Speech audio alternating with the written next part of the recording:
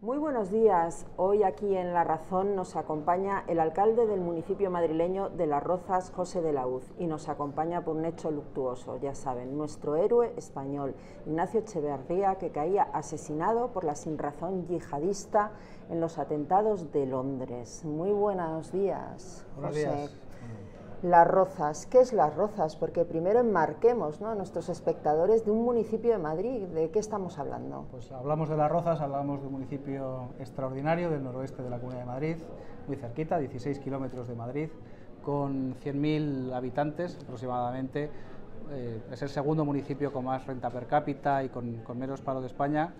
Eh, con un importante tejido tecnológico empresarial y una ciudad que bueno, pues se conoce aparte por la Selección Nacional de Fútbol que tiene su sede, por la Rozas Village, desde luego se conoce por su calidad de vida, su deporte, su calidad educativa. Podría estar hablando de la mejor ciudad de España muchas horas. y ahora porque tiene un héroe, ¿no? Ignacio Echevarría. Horas muy duras, ¿verdad, señor alcalde? Pues han sido días muy duros desde que el domingo por la noche tuvimos ocasión de, conocer la búsqueda de la familia Echeverría de, de, su hijo Ignacio, en este caso, y a lo largo de estos días acompañar primero la búsqueda y desde ayer por la tarde en el dolor eh, por la pérdida de Ignacio en ese atentado terrorista. Las Rozas reaccionaba inmediatamente, nada más conocerse que este héroe español estaba desaparecido y anunciaba ya que le iba a dar la medalla de honor de Las Rozas. Es la primera vez que Las Rozas va a conceder semejante medalla, ¿verdad?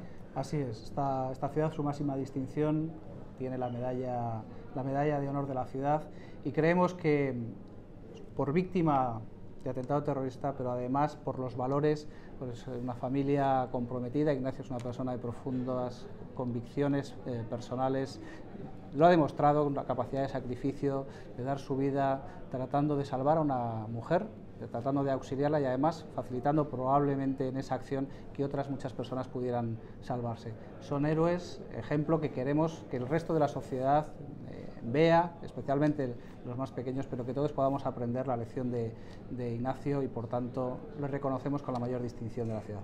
Efectivamente, porque hay que reconocer que Ignacio en aquel momento ve que están apuñalando a una mujer y se enfrenta a tres terroristas armados y con eso que consigue no solo salvar a esa mujer, sino evitar que maten a más personas. Un ejemplo que no solo merece una medalla o la concesión de la medalla al mérito civil que ha anunciado el presidente de gobierno Mariano Rajoy, sino que en Las Rozas, que es su municipio donde él residía, va a tener también un parque de skate. Sí, la verdad es que ha sido un clamor popular, se ha sentido muchísimo la ciudad. Eh, yo creo que todo el país está consternado por, por, cómo hemos ido viviendo estas horas, por lo que le ha pasado a Ignacio y a su familia. Y a lo largo de estas últimas horas ha habido cientos, miles de hecho, de peticiones para destinar un espacio público de la ciudad a, Ignacio, a su memoria y a su recuerdo por este acto heroico especialmente. Y lo que vamos a hacer en, la ciudad de Las Rozas es... Eh, una zona verde, una nueva zona que albergue una, pista de skate, un, sitio que sea emblemático de la ciudad, que lleve su nombre para, para su recuerdo algo que le gustaría mucho a nuestro héroe del monopatín, sin duda alguna. Ojalá todas las ciudades reaccionasen como ha reaccionado Las Rozas. Además, usted reaccionó inmediatamente en Twitter, el ayuntamiento inmediatamente anunció yo solo me queda darle en nombre de todos los que hacemos el diario La Razón el pésame que esperemos que traslade a la familia de nuestro héroe español y que sepan que estamos con ellos. Sin duda, sí lo haré porque lo merecen ese cariño y ese reconocimiento por parte de todos y, el apoyo que les reconfortará seguro después de estos días. Alcalde, espero tenerle más veces por aquí, pero con motivos más alegres. Así lo deseo también, desde luego. Muchas gracias. Y a todos ustedes, la semana que viene, más de Madrid.